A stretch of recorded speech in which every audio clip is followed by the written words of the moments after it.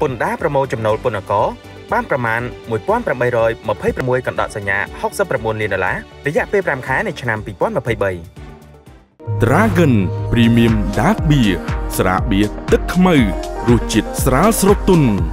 ផ្ដើមសបាយជាមួយរសជាតិនិងគុណភាពនៅក្នុងរយៈពេល5ខែនៃឆ្នាំ2023ចំណូលពន្ធអាករដែលអគ្គនាយកដ្ឋានពន្ធដារ ប្រមូលបាន គឺមានចំនួន7389កណ្ដកសញ្ញា08 billion រៀលស្មើនឹងប្រមាណជា1826កណ្ដកសញ្ញា69លានដុល្លារស្មើនឹង51កណ្ដកសញ្ញា14%នៃផែនការច្បាប់ស្តីពីហិរញ្ញវត្ថុសម្រាប់ការគ្រប់គ្រងឆ្នាំ2023លើកឡើងនៅក្នុងកិច្ចប្រជុំបូកសរុបលទ្ធផលប្រមូលចំណូលពន្ធប្រចាំខែឧសភា និងសម្រាប់រយៈពេល5ខែឆ្នាំ2023 ព្រមទាំងទិសដៅសម្រាប់អនុវត្តបន្ត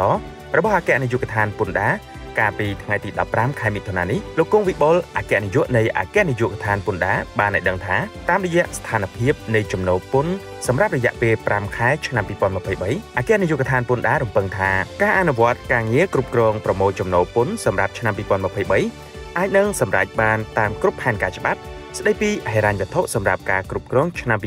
2023ចំនួន14645កណ្ដកសញ្ញា38ប៊ីលានរៀលប្រមាណជា3571កណ្ដកសញ្ញា69លានដុល្លារលោកថាចំណូលពន្ធបានហក់ខ្ពស់នៅក្នុងខែមីនាឆ្នាំ2023ដែលសម្រេចបាន 3258កណ្ដកសញ្ញា01 billion រៀលប្រមាណជា804កណ្ដកសញ្ញា45លានដុល្លារបើធៀបទៅនឹងខែមីនាឆ្នាំ2022សម្រេចបាន3040កណ្ដកសញ្ញា37 billion រៀលប្រមាណជា750កណ្ដកសញ្ញា71លានដុល្លារដលៃសម្រាប់ចំណូលពន្ធពីប្រតិបត្តិការពាណិជ្ជកម្មតាមប្រព័ន្ធអេឡិចត្រូនិក e-commerce នៅក្នុងខែឧសភាឆ្នាំ2023ទទួលបាន23កណ្ដកសញ្ញា09 billion រៀល ប្រមាណជា570លានដុល្លារនិងសម្រាប់រយៈពេល5ខែឆ្នាំ2023ទទួលបាន131កណ្ដកសញ្ញា66 billion រៀលប្រមាណជា32កណ្ដកសញ្ញា51លានដុល្លារ